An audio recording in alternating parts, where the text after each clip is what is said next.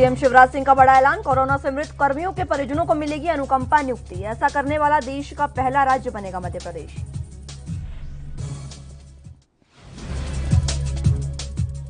Chhattisgarh CM Bhupesh Baghel ने की cabinet की बैठक। प्रदेश में कोरोना की स्थिति पर हुई चर्चा। वीडियो कॉन्फ्रेंसिंग के ज़रिए जुड़े सभी मंत्री।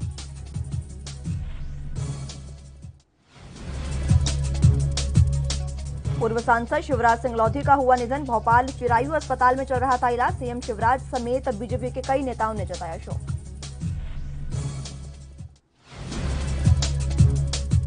और छत्तीसगढ़ बीजापुर में एक बार फिर हुआ नक्सली हमला। आईडी ब्लास्ट में हेड कांस्टेबल शहीद। एरिया डिमोशन पर निकली थी टीम।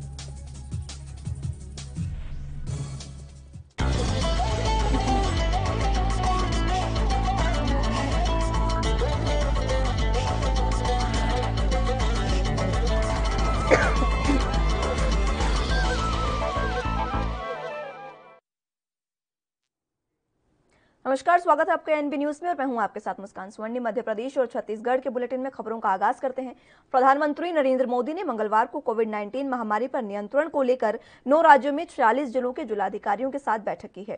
इस बैठक में कोरोना की लहर को किस तरह से रोका जाए, इसकी चर्चा की गई। ये बैठक वर्चुअल तौर पर आयोजित की गई थी। इस बैठक के बाद प्रधानमंत्री एक बार फिर 20 मई को शेष 10 राज्यों के चौवन जिलाधिकारियों के साथ बैठक करेंगे। बता दें कि इस बैठक में जिलाधिकारियों के साथ संबंधित प्रदेश के मुख्यमंत्री भी मौजूद रहे। मध्य प्रदेश के मुख्यमंत्री शिवराज सिंह चौहान भी इस बैठक में उन्होंने भाग लिया और तमाम तरह की जो मीटिंग थी उसमें हिस्सा लेकर तमाम बातें सुनी।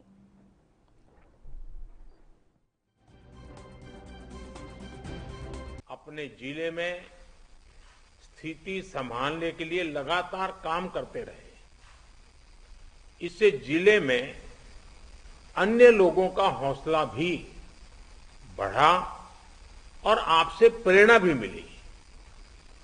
बहुत से ऐसे हैं जो कई कई दिनों तक घर नहीं जा पाए, अपने घर वालों से नहीं मिल पाए। कई लोगों ने अपने परिवार के अहम सदस्यों, अपने करीबियों को खोया भी है। इस मुश्किल के बीच आपने अपने कर्तव्य को सर्वोच्च प्राथमिकता दी है। अभी आपसे मैं कई साथियों से अपने अनुभव सुनने का मुझे अवसर मिला। वैसे मेरे सामने काफ़ी लोग हैं, लेकिन हरेक को तो संभव नहीं हुआ है। लेकिन हरेक के पास कुछ न कुछ नया था। कुछ न कुछ इनोवेटिव था। और अपने तरीके से रास्ते खोजे थे। और सफलता के लिए यही सबसे बड़ा काम का होता है कि आप मूलभूत विचार को कितना लोकलाइज बना करके सेट करके उसका उपयोग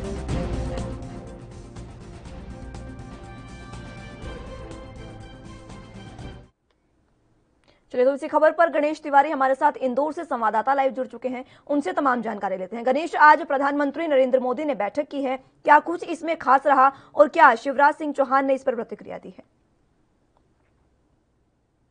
देखिए, मुस्कान, सबसे पहले अगर प्रधानमंत्री नरेंद्र मोदी की बात करें तो लगातार कोरोना को लेकर प्रधानमंत्री नरेंद्र मोदी समीक्षा बैठक ले रहे हैं। इसी को देखते हुए अगर बात करें, प्रधानमंत्री नरेंद्र मोदी ने आज करीब नौ राज्यों के छियालीस जिलाधिकारियों से उन्होंने कोरोना समीक्षा को लेकर एक वर्चुअल मीटिंग की है वीडियो कॉन्फ्रेंसिंग के माध्यम से। सभी जिलाधिकारियों से प्रधानमंत्री नरेंद्र मोदी ने बात की है और सबसे अहम इसमें खास बात ये रही कि प्रधानमंत्री नरेंद्र मोदी ने साफ़ तौर पर यह भी कहा है कि चूँकि जिला, अगर जिला स्तरीय की बात करें तो जिला अधिकारियों को उस बारे में ज़्यादा जानकारी होती है और उनकी नियंत्रण स्थिति के बारे में भी जिला अधिकारियों के ऊपर पूरी तरह से निर्भर होता है। तो ऐसे में प्रधानमंत्री नरेंद्र मोदी की अगर बात करें तो उन्होंने साफ़ तौर पर कहा है कि अगर हमारा कोई भी जिला जीतता है तो हमारा देश जीतता है। यानी कि अगर पूरी तरह से अगर बात करें तो कोरोना समीक्षा पे अगर बैठक की बात करें तो प्रधान, प्रधानमंत्री नरेंद्र मोदी ने जिला अधिकारियों से पूरी तरह से कोरोना समीक्षा को लेकर निर्देश दिए हैं और साथ ही गाँव गाँव तक इसको लेकर क्योंकि गाँव में अगर बात करें गाँव में अभी भी जागरूकता नहीं है। तो जो गाँव में ज़्यादा ज़ोर देने की बात कही है, साथ ही उन्होंने जो टेस्टिंग है, उस पर ज़्यादा से ज़्यादा ज़ोर देने की बात कही है। साथ ही प्रधानमंत्री नरेंद्र मोदी ने यह भी कहा है, तीन सुझाव देते हुए कहा है कि जो कालाबाजारी है, उनको भी रोकना बेहद ज़रूरी है। साथ ही जो सही जानकारी है, चाहे वो बेड की हो या हॉस्पिटल की हो या फिर इंजेक्शन की हो, उन तमाम जानकारियों को भी सही आम जनता को मुहैया करा पाएँगे। अगर हम वो सभी जानकारी मुहैया कराते हैं तो ज़रूर हम इस जंग से जीत सकते हैं। तो कुल मिलाकर प्रधानमंत्री नरेंद्र मोदी ने मध्य प्रदेश के जिला अधिकारियों से कोरोना समीक्षा को लेकर और अन्य राज्यों गणेश, लगातार प्रधानमंत्री इस तरह की बैठक करते जा रहे हैं और लगातार वो राज्यों को चेतावनी भी दे रहे हैं और बता भी रहे हैं कि किस तरीके से उनको निपटना चाहिए। फ़िलहाल मध्य प्रदेश में कोरोना की क्या स्थिति है, आंकड़े क्या है ताज़ा और क्या कुछ अभी ऑक्सीजन, वेंटिलेटर और बेड, इन सब चीज़ों की क्या स्थिति है फ़िलहाल मध्य प्रदेश में? हाँ देखिए मुस्कान अगर मध्य प्रदेश की बात करें तो मध्य प्रदेश में निश्चित तौर पर जो कोरोना के आंकड़े हैं वो लगातार अब कम नज़र आ रहे हैं अगर बीती 24 घंटों की बात करें हम मध्य प्रदेश में जो कोरोना के आंकड़े सामने आए हैं वो नौ दशमलव की दर से जो है आंकड़े सामने आए जो कि हम्म। पूर्व में यही आंकड़े बीस बीस प्रतिशत और पच्चीस प्रतिशत के हिसाब से आ रहे थे लेकिन अब जो आंकड़े हैं मध्य प्रदेश में वो बेहद कम आ रहे हैं जिसको लेकर प्रधानमंत्री नरेंद्र मोदी ने भी मध्य प्रदेश की जो जिस कदर कोरोना नियंत्रण में यहाँ पर मध्य प्रदेश ने आया है, मध्य प्रदेश ने कोरोना नियंत्रण किया है, ऐसे में प्रधानमंत्री नरेंद्र मोदी ने भी हालाँकि यहाँ पर मुख्यमंत्री की तारीफ़ की है और समस्त जिला अधिकारियों को भी उन्होंने तारीफ़ की है। अगर मध्य प्रदेश के आंकड़ों की बात करें तो मध्य प्रदेश में जो बीती रात आंकड़े आए हैं पाँच हज़ार नौ सौ इक्कीस मामले जो है पूरे मध्य प्रदेश में सामने आए हम्म। जो कि अगर पूर्व में यही दस दिन पूर्व की बात करें तो करीब ये आंकड़े पंद्रह हज़ार के ऊपर आ रहे थे हम्म। तो हालाँकि मध्य प्रदेश में जो आंकड़े हैं जो मौत के आंकड़े हैं वो भी कम नज़र आ रहे हैं जो रिकवरी रेट है वो काफ़ी ज़्यादा जा रहा है प्रतिदिन जो है बारह हज़ार से तेरह हज़ार लोग जो है अपने घरों को जीत कर कोरोना से जंग जीत कर अपने घरों को जा रहे हैं। हम्म। और आंकड़ों में बेहद ही कमी नज़र आ रही है। रिकवरी रेट अगर मध्य प्रदेश की बात करें तो नब्बे प्रतिशत के समथिंग पहुँच चुका है। और वही जो कोरोना संक्रमण का दर है वो नौ दशमलव पहुँच चुका है। तो लगातार जो है मध्य प्रदेश ठीक है बहुत शुक्रिया गणेश हमारे साथ जुड़ने के लिए। जी तमाम जानकारी आपने दी बहुत शुक्रिया उसके लिए। फ़िलहाल यहाँ एक छोटे से ब्रेक के लिए रुकेंगे जल्द हाजिर होंगे।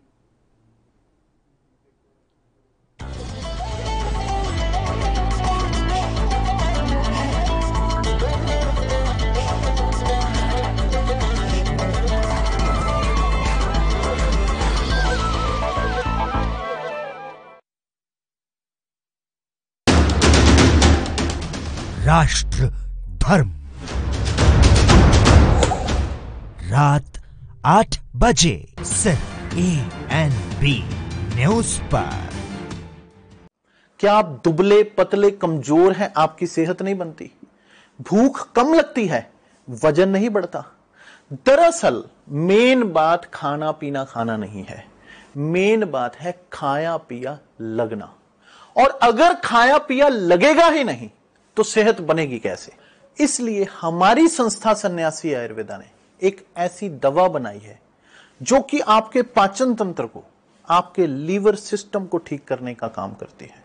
ताकि आप जो भी खाएँ, उसका पूरे का पूरा निचोड़ आपके शरीर को लगे, आपकी भूख बढ़े, खाया पिया सही से लगे, नया खून बने, हड्डियों में जान आए, वज़न बढ़े, ताकत बढ़े चेहरे पर नूर आए और आप मोटे, तगड़े, खूबसूरत पर्सनैलिटी के मालिक बन जाए। यह दवा पूरी तरह से आयुर्वेदिक होती है।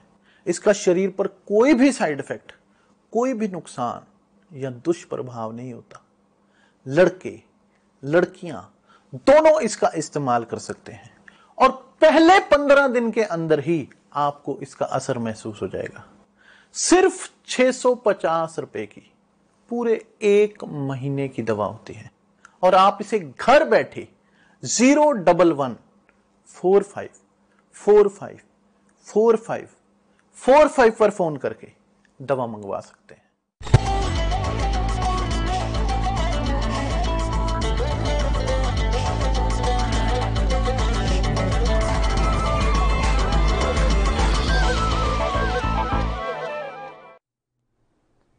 चलिए तो ब्रेक के बाद आगे की अहम खबरों की ओर रुख कर लेते हैं कोरोना महामारी में कारण, जान गंवाने वाले सरकारी कर्मचारियों के परिवार के लिए मध्य प्रदेश की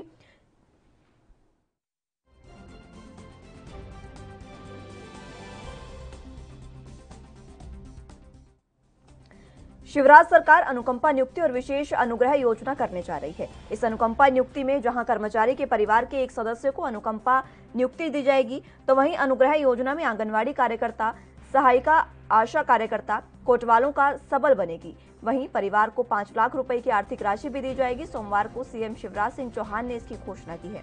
सीएम शिवराज सिंह ने कहा कि अनुकंपा नियुक्ति में महामारी के दौरान अगर किसी कर्मचारी के साथ दुर्भाग्यपूर्ण घटनाएँ होती हैं तो उसके परिवारों को देखभाल करने की जवाबदारी सरकार की होगी। इसलिए राज्य शासन ने दो योजनाएँ बनाई जा रही हैं। पहली योजना में मुख्यमंत्री कोविड 19 अनुकंपा नियुक्ति योजना और मुख्यमंत्री कोविड 19 विशेष अनुग्रह योजना रहेगी।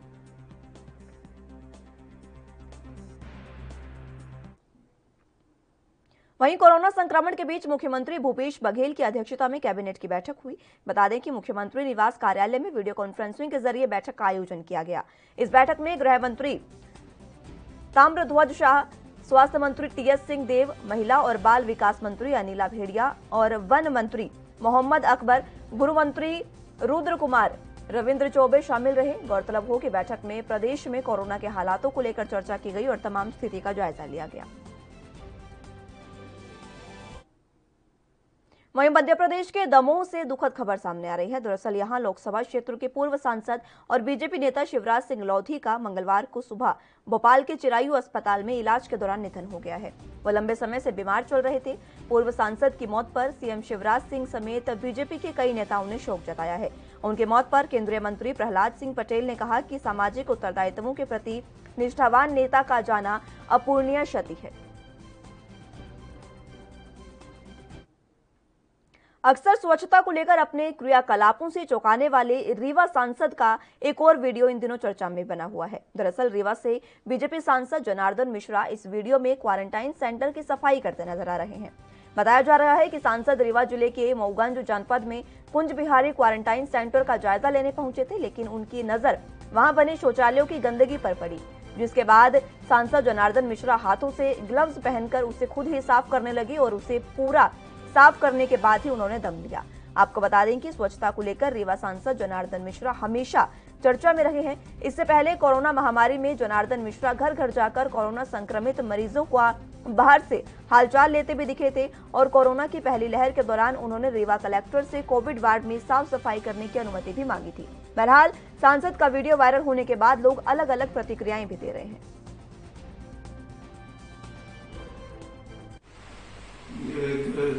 मऊगंज विकास खंड के सिमरिया कोरोना ग्राम पंचायत में इस समय ग्यारह कोरोना मरीजों से मिलने, संदिग्धों की जो पहचान किया, उनको दवाई मिली कि नहीं मिली, उस सिलसिले में ग्राम पंचायत ये सिमरिया कुंज बिहारी गया था वहाँ क्वारंटाइन सेंटर को देखने के बाद ऐसा लगा कि यहाँ शौचालय में सफ़ाई देश इस समय कोरोना की दूसरी लहर से जूझ रहा है, जिससे निपटने के लिए छत्तीसगढ़ सरकार ने एक नई शुरुआत की है। दरअसल, प्रदेश में 18 प्लस के वैक्सीनेशन के लिए राज्य सरकार ने सीजी का पोर्टल की शुरुआत की है। इसमें रजिस्ट्रेशन के लिए ग्रामीणों और नेटवर्क प्रभावित इलाकों में दिक्कत को देखते हुए सुविधा दी जा रही है। नारायणपुर में पोर्टल में रजिस्ट्रेशन के लिए प्रशासन ने सभी सामान्य सेवा केंद्रों और लोक सेवा केंद्रों को खोलने की अनुमति दे दी है। इन केंद्रों में लोग वैक्सीनेशन के लिए निःशुल्क रजिस्ट्रेशन करा सकेंगे। वहीं छत्तीसगढ़ के उदयपुर में एक भीषण सड़क हादसा होने की खबर सामने आ रही है। दरअसल रायपुर से गढ़वा जा रही एक बस रास्ते में अनियंत्रित होकर खाई में गिर गई, जिससे बस में सवार 10 से 15 लोगों को हल्की चोटें आई है। बता दें कि दुर्घटना के वक्त बस में 30 से 35 लोग सवार थे। वहीं उदयपुर के तहसीलदार ने बताया कि बस 35 सवारियों के साथ रायपुर से गढ़वा जा रही थी। हादसे में लगभग 10 से 15 लोगों को मामूली चोटें आई है, जिसके बाद घायलों को अस्पताल में भर्ती करा दिया गया है। रायपुर से गढ़वा जाने वाली ये महिंद्रा कंपनी की बस है जिसमें लगभग 30-35 सवारी थे और गुंगा के पास में दुर्घटना हुई है। तो लगभग 10-15 लोगों को इसमें थोड़ी चोट आई है चोट बहुत ज़्यादा नहीं है और इनको एंबुलेंस से हॉस्पिटल भेज दिया गया है। जी। और बाकी जो सवारी यहाँ पर हैं उनकी व्यवस्था के लिए एक दूसरी बस बुलाई गई है। वो अभी इनको ले जाएगी और यहाँ पर कोई लोग देखने वखने अगर ले आ रहे हैं भीड़ लगा रहे हैं तो इसके लिए हम कोटवारों की व्यवस्था कर रहे हैं। सर ये घटना लगभग कितने बजे की बताई जा रही है? लगभग चार बजे के आसपास की है। कहाँ से आ रहे थे? मतलब आ रहा था हैदराबाद से। हैदराबाद से। अभी कौन सी बस में आ रहे थे? विजय बस में आ रहे थे। और यहाँ से रायपुर से? रायपुर से आया था उधर का बस में। उनका बस था नाम पता नहीं। तो बस क्या हुआ अभी? बस पलटी हो गया। कितने लोग थे आप लोग? हम लोग हैं सात आठ लोग। अच्छा और बस में कितने सवार थे? बस में कितने थे तो तो बस जाने का बस वाला। भीड़ कितना दिखा आपको? भीड़ नहीं था जितना सीट था उतना ही था। सीट भर आदमी थे? यहाँ एक छोटे से ब्रेक के लिए रुकेंगे जल्द हाजिर होंगे।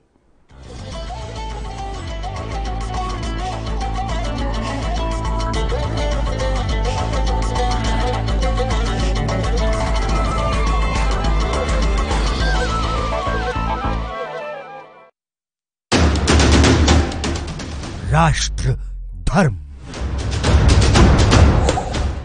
रात आठ बजे सिर्फ ए एन बी न्यूज पर ਪੰਜਾਬ ਦੀ ਕੋਰੋਨਾ ਖਿਲਾਫ ਜੰਗ ਜਾਰੀ ਹੈ ਤੁਸੀਂ ਵੀ ਇਸ ਜੰਗ 'ਚ ਆਪਣਾ ਹਿੱਸਾ ਪਾਓ ਅਗਰ ਆਪਾਂ ਨੇ ਆਪਣੇ ਪਰਿਵਾਰਾਂ ਨੂੰ ਬਚਾਉਣਾ ਹੈ ਬੱਚਿਆਂ ਨੂੰ ਬਚਾਉਣਾ ਹੈ ਆਪਣੇ ਹੋਰ ਬਜ਼ੁਰਗ ਨੇ ਉਹਦੇ ਵਿੱਚ ਘਰਾਂ ਦੇ ਵਿੱਚ ਉਹਨਾਂ ਨੂੰ ਬਚਾਉਣਾ ਹੈ ਤਾਂ ਇੱਕੋ ਹੀ ਤਰੀਕਾ ਹੈ ਕਿ ਆਪਾਂ ਟੀਕੇ ਲਗਾਓ ਕੋਵਿਡ ਵੈਕਸੀਨ ਉਪਰੰਤ ਤੁਹਾਨੂੰ ਹਲਕਾ ਜਿਹਾ ਬੁਖਾਰ ਆ ਸਕਦਾ ਹੈ ਜਿਸ ਤੇ ਘਬਰਾਉਣ ਦੀ ਲੋੜ ਨਹੀਂ ਮੈਂ ਅੱਜ ਸੈਕੰਡ ਡੋਜ਼ ਲਵਾਈ ਹੈ ਮੈਂ ਬਿਲਕੁਲ ਠੀਕ ਠਾਕ ਹਾਂ ਮੈਨੂੰ ਕਿਸੇ ਕਿਸਮ ਦੀ ਕੋਈ ਤਕਲੀਫ ਨਹੀਂ ਵੈਕਸੀਨ ਸੰਬੰਧੀ ਵਧੇਰੇ ਜਾਣਕਾਰੀ ਲਈ 104 ਹੈਲਪਲਾਈਨ ਤੇ ਕਾਲ ਕਰੋ वैक्सीन लगाओ परिवार बचाओ कम ब्रेक और ज्यादा खबरों के साथ देखिए A N B news in channel number पर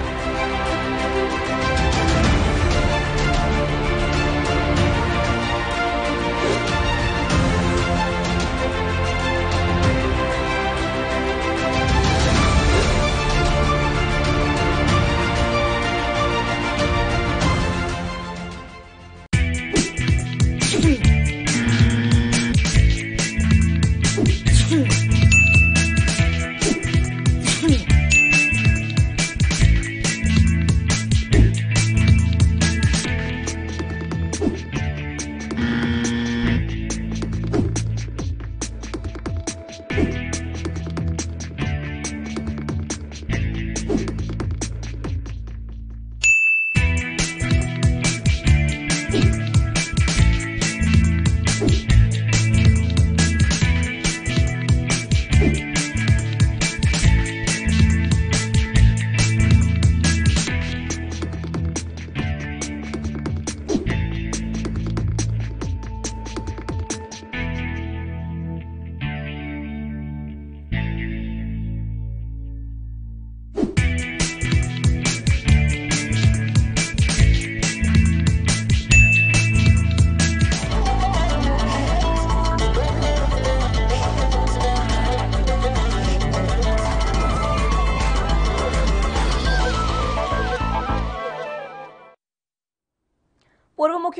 कांग्रेस के प्रदेश अध्यक्ष कमलनाथ ने एक ट्वीट कर उनकी सियासत ने गरमा दिया है।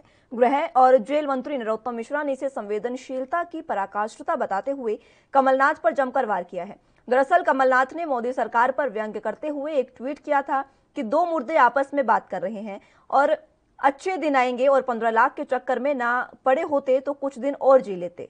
कमलनाथ के ट्वीट पर नरोत्तम मिश्रा ने पलटवार करते हुए कहा कि आज पूरा देश और प्रदेश संकट के जिस दौर से गुजर रहा है उसमें कमलनाथ जी को लोगों की मदद और मानवता की बात करने के बजाय मुर्दों की बातें सुनाई दे रही। इन्हें मुर्दों की आवाज़ सुनाई देने लगी। लेकिन पीड़ित मानवता की सेवा के लिए इनको आवाज़ सुनाई नहीं दे रही। इन्हें किसान की आवाज़ नहीं सुन रही। ये जनता की आवाज़ नहीं सुन रहे, ये बीमार की आवाज़ नहीं सुन रहे, दुखी की नहीं सुन रहे। यहाँ तक कि इनके बी विधायक आईसीयू में थे, उनकी आवाज़ नहीं पहुँची इन तक। ये नहीं गए देखने किसी को भी। लेकिन कब्रिस्तान पहुँच गए मुर्दों की बातचीत सुनने कांग्रेस की अघोरी है क्या कमलनाथ? हद है मतलब आप ट्वीट उनके देखें आज जब जनता को सहानुभूति की ज़रूरत है, सहानुभूति के दो शब्दों की ज़रूरत है, तब मुर्दों की बातचीत सुनाई पड़ रही कमलनाथ जी को। ठीक है, आप नहीं बोल सकते सहानुभूति के दो शब्द। ठीक है, आप नहीं किसी गरीब की सेवा करना चाहते हो, सोने का चम्मच मुँह में पैदा होने वाले लोगों तो कम से कम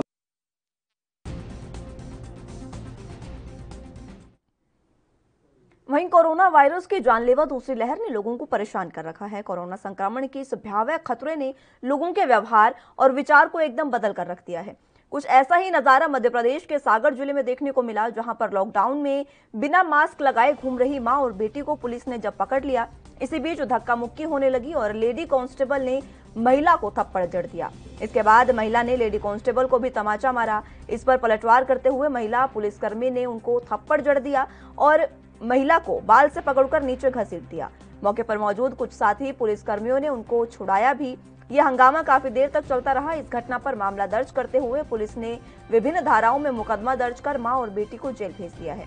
वहीं इस मामले पर सब इंस्पेक्टर गोपाल चौबे का कहना है कि कोरोना की वजह से लॉकडाउन लगा हुआ है और कलेक्टर महोदया के अनुसार धारा 144 का पालन करवाने के लिए पुलिस कर्मियों की ड्यूटी लगाई गई है और गांधी चौक पर महिला आरक्षक अपनी ड्यूटी कर रही थी। इस दौरान माँ बेटी बिना मास्क लगाए घूम रही थी। जब महिला आरक्षक ने इनका चालान काटने के लिए कहा तो इस पर वो भड़क गई और बदसलूकी करने लगी और महिला पुलिसकर्मी पर हाथ उठा दिया, जिसके बाद ये तमाम कार्रवाई की गई। वहीं इंदौर में जीवन रक्षक इंजेक्शन की कालाबाजारी करने का एक और आरोपी पुलिस की गिरफ्त में आ गया है। आपको बता दें कि कलेक्टर के खिलाफ जाकर इस्तीफा देने के बाद चर्चा में आई जिला स्वास्थ्य अधिकारी डॉक्टर पूर्णिमा गडरिया के ड्राइवर को पुलिस ने रेमडेसिविर बेचते हुए गिरफ़्तार किया है। उसके पास से एक इंजेक्शन भी मिला है। विजयनगर पुलिस के अनुसार मुखबिर की सूचना पर टीम ने आरोपी को गिरफ़्तार किया है। वो किसी को पंद्रह हज़ार रुपए में इंजेक्शन बेच रहा था। आरोपी डॉक्टर गडरिया का ड्राइवर है। उसके खिलाफ केस दर्ज किया गया है। वो इंजेक्शन कहाँ से लाया था, इसके बारे में पूछताछ की जा रही है।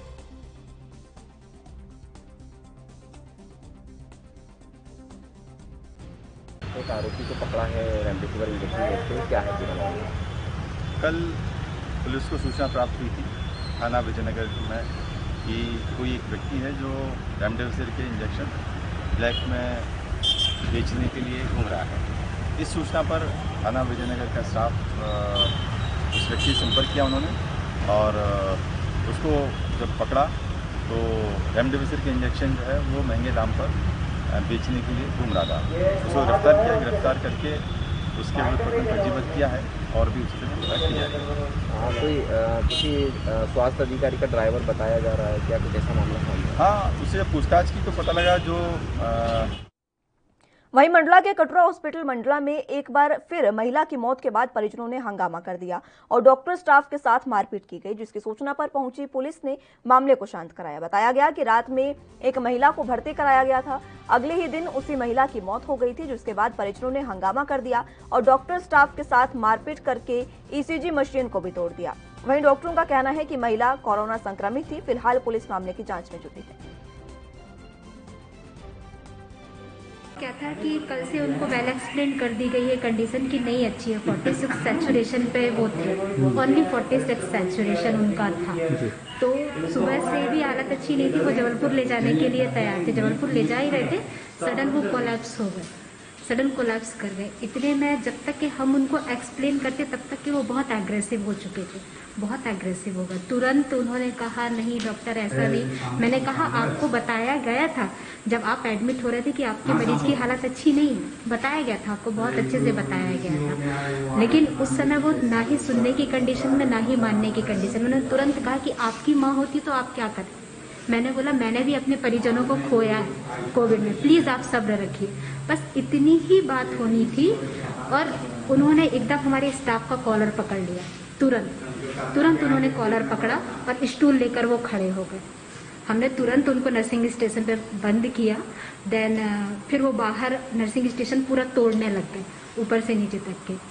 कि आपके अपने पर, आपने अपने परिजन को खोया तो क्या हमारी माँ को मारेंगे? उनका ये हो गया, ऐसे कहना। मैंने बोला, नहीं, मैं ऐसा नहीं बोल रही मैंने बोला, मैंने भी अपने परिजन को खोया आप सब्र रखिए। एक मरीज़ का डीसी हुआ था इसका नाम है उषा कुजूर उसके परिजन डीसी के बाद नर्स को और ड्यूटी डॉक्टर को अटैक किए और ईसीजी मशीन उठा के पटक के तोड़ दिए।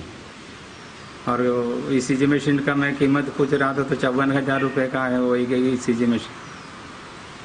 किसी डॉक्टर को भी माने शिकायत आ रही है। और डॉक्टर श्वेता। वहीं मध्य प्रदेश के सबसे बड़े अस्पताल महाराजा यशवंत राव में बड़ी लापरवाही सामने आई है। यहाँ पहली मंजिल पर नर्सरी में भर्ती एक नवजात के पैर का अंगूठा और एढ़ी चूहों ने कुतर दी है। इससे उसकी जान संकट में आ गई है। वहीं परिजनों ने हंगामा किया तो मामले का खुलासा हुआ। इसके बाद अस्पताल प्रबंधन ने जाँच कमेटी बना दी है। बताया जा रहा है कि नर्सरी में भर्ती नवजात के साथ इस तरह का ये दूसरा मामला है। पिछले हफ़्ते भी नर्सरी में एक नवजात का पैर झुलस गया था। किशन की पत्नी प्रियंका ने एक बच्चे को जब जन्म दिया, बच्चा प्री मैच्योर था। उसका वज़न करीब एक किलो था। उसे देखरेख के लिए नर्सरी में वार्मर पर रखा गया था। बच्चे की माँ प्रियंका सोमवार सुबह उसे दूध पिलाने के लिए जब गई तो मामला सामने आया। बच्चे के एक पैर का अंगूठा और एडी चूहों ने कुतर रखी थी। नवजात का लहूलुहान पैर देखकर परिजन आक्रोशित हो गए और उन्होंने हंगामा कर दिया। बाद में वो अधीक्षक कक्ष के बाहर जमा हो गए। मामले की गंभीरता को देखते हुए डीन डॉक्टर संजय दीक्षित और एमवाई अधीक्षक डॉक्टर पीएस ठाकुर मौके पर पहुँचे हैं और उन्होंने मामले की जानकारी ली है और परिजनों को समझा बुझाकर मामला शांत कराया। तो उसकी क्या तो मैं मैं जानना चाहता हूँ कि वहाँ का नर्सिंग स्टाफ कहाँ गया था रात में, तीन बजे के बाद? जब मेरी मिसेज उसको दूध पिलाने गई थी तीन बजे तो जानना चाहूँ तीन बजे गई थी, तीन बजे उसको पता चला कि भैया काट खा। उसके बाद में सुबह उनने ड्रेसिंग करके उसको, उनके सामने ही मेरी मिसेज के सामने ड्रेसिंग करी। तो मैं जानना चाहता हूँ कि वो नर्सिंग स्टाफ कहाँ गया था? बच्चे को कहाँ कहाँ काटा आपके बच्चे? मेरे बच्चे का अंगूठा नहीं है एक्सरा करवाया बोलना अंगूठा नहीं आएगा। और एडी में काटा है। डॉक्टर से आपने बात की डॉक्टर से मैं दो दिन से घर था मैं आया नहीं था यहाँ पे तीन लेडीज़ हैं मेरी सास है मेरी बड़ी सास है बस और एक मेरी मिसेज है। वो बात उन्होंने डॉक्टर से बात की डॉक्टर का क्या डॉक्टर साहब उल्टा जवाब देते हैं। बोले उम्र देख के बच्चा पैदा करना चाहिए। तो बच्चे हमने पैदा करे उनने थोड़ी करे। दोपहर बाद मेरे सामने जानकारी में आई है कि ये 27 तारीख को ये बच्चा प्रीमेच्योर पैदा हुआ था भर्ती हुआ है नर्सरी में। और जब घटना सामने आई तो हमने एक जाँच समिति बना दी इसमें डॉक्टर के के अरोरा है डॉक्टर अर्पणा शर्मा है और संकेत जिन्होंने प्रसाद के वो है क्योंकि मामला बहुत गंभीर है।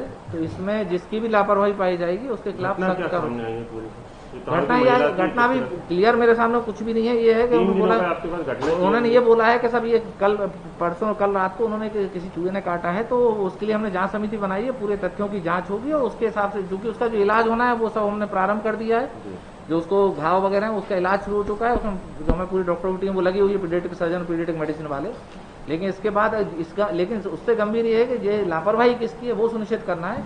उसमें लापरवाही नर्स की है या एजेंसी की है? सर घटना कब हुई? बच्चा कितने दिन ये नर्सरी में भर्ती है भाई सत्ताईस तारीख को बच्चा पैदा हुआ था प्रीमेच्योर है इसी नर्सरी में था वो। तो सत्ताईस तारीख कोरोना कर्फ्यू की चेन को तोड़ने के उद्देश्य से शहर में जिला प्रशासन के निर्देशों के मुताबिक पुलिस एक्शन मोड में आ गई है जहाँ इंदौर के प्रमुख चौराहों पर बेवजह घूमने वालों को कार्रवाई उन पर की गई। इसी क्रम में इंदौर के रीगल तिराहे पर मंगलवार को एक तरफ़ जहाँ नगर निगम के लोग मास्क नहीं पहनने वालों पर और बेवजह घूमने वालों पर कार्रवाई करते दिखे तो वहीं दूसरी ओर एसपी आशुतोष बागड़े ने अपनी ब्रिगेड के साथ मोर्चा संभाला। तुकोगंज थाना प्रभारी कमलेश शर्मा सहित बड़ी संख्या में पुलिस दल शहर में फालतू घूमने वाले लोगों पर कार्रवाई करते नज़र आए और उन्हें जेल में भेज दिया गया, अस्थायी जेल में भेजा गया। उन्हें आपकी स्क्रीन पर जो आप ये तमाम नज़ारा देख रहे हैं, ये रीगल तिराहा का है, जहाँ पर मंगलवार को पुलिस की कार्रवाई तेज हो चली है। मंगलवार को कार्रवाई के दौरान बड़ी संख्या में कई बाइक सवारों के साथ महिलाएँ और बच्चे भी दिखे। कई लोग पुलिस के कहने पर अस्थायी जेल बस में तुरंत बैठ गए तो कई लोगों को सख्ती के साथ वाहन में चढ़ाकर जेल भेजा गया। कोई हाथ जोड़कर परिजनों के अस्पताल में भर्ती होने का हवाला दे रहा था तो कोई दवाई बैंक या अन्य तरह की बातें कहकर पुलिस कार्रवाई से बचने की कोशिश करता नज़र आया। हालाँकि इस पूरी कार्रवाई के दौरान थाना प्रभारी और एसपी ने स्पष्ट कर दिया है कि कोरोना की चेन तोड़ने के लिए सख्त कार्रवाई के आदेश हैं, जहाँ कर्फ्यू में अब तक पाँच से छह हज़ार लोगों को अस्थायी जेल भेज दिया गया है और ये कार्रवाई आगामी आदेशों तक निरंतर जारी रहेगी।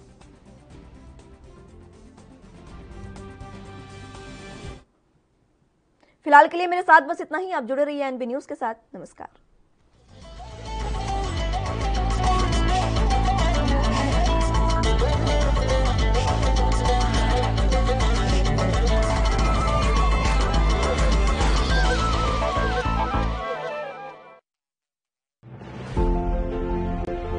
Honor the contribution